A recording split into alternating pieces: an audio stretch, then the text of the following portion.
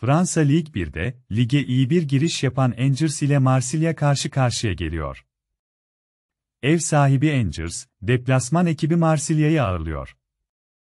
Ev sahibi Angers şu ana kadar savunmada idare etmeye çalışsa da gol yollarında beklentilerin üstünde bir performans sergiledi ve çok keyif verdi. Deplasman ekibi de keza gol yollarındaki etkinliğiyle galibiyetlere uzanıyor. Genel kanının aksine bu mücadelede de yine her iki ekibin de golcülerinin konuşacağını düşünüyorum. Yüksek tempoyla beraber bol gol izleriz.